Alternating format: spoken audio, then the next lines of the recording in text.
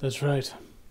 I'm Agent 47. Don't flatter yourself, shitty movie. I just had this stuff lying around. I didn't go out and buy it for the sake of reviewing you.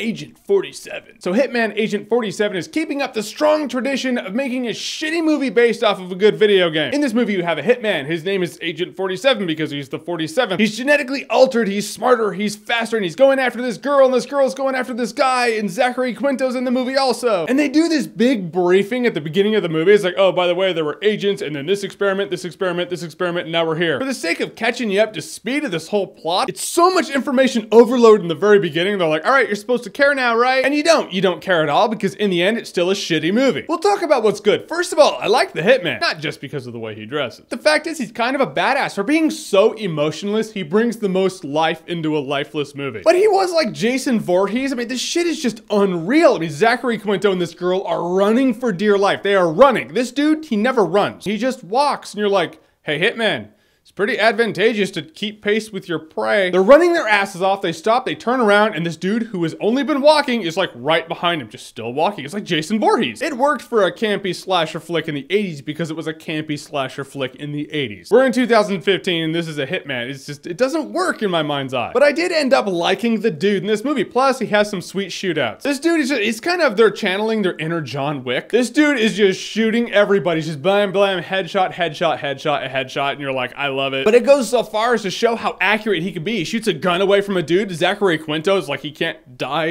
he can't get shot because he has like Kevlar skin. So you're like, all right, you shot the gun away from him. If you can do that, you could have shot him in the eye.